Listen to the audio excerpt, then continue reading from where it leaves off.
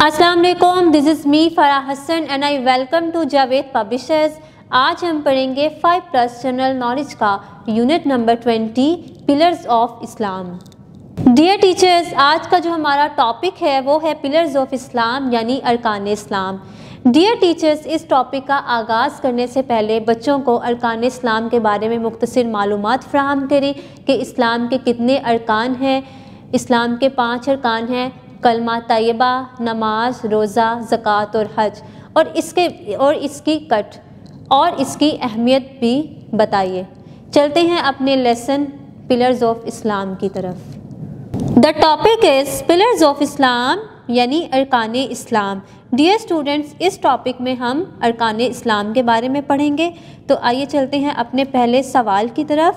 Question number one how many pillars does Islam have इस्लाम के कितने अरकान हैं?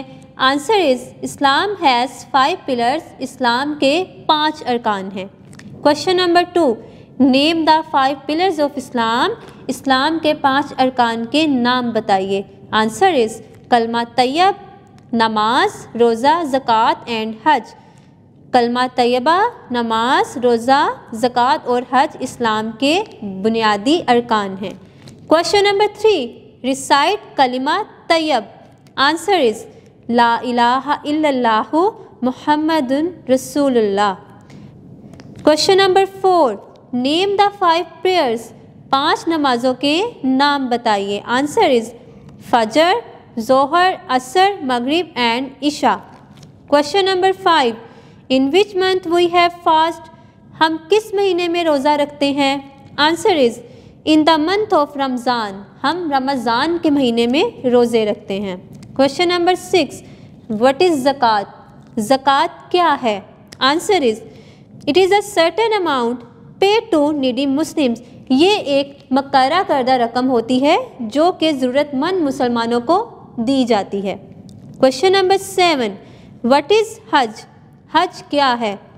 Answer is it is a pilgrimage to Mecca ये मक्का मकरमा का हज है, जो हम मक्का में जाकर अदा करते हैं। डियर स्टूडेंट्स आई होप कि आपको पिलर्स ऑफ़ इस्लाम यानी अरकान इस्लाम के बारे में पता चल चुका होगा कि इस्लाम के कितने अरकान हैं, इनके नाम क्या हैं, नमाज़ें कितनी हैं, इनके नाम क्या हैं, ज़क़़त क्या है और हज क्या है। प्यारे बच्चों, आपने ये इन्फॉर्मेशन ये लेसन अच्छे से याद करना है और अपनी टीचर को सुनाना भी है। अपना बहुत सारा ख्याल रखिएगा जुड़े रहें बोलती किताबों के साथ।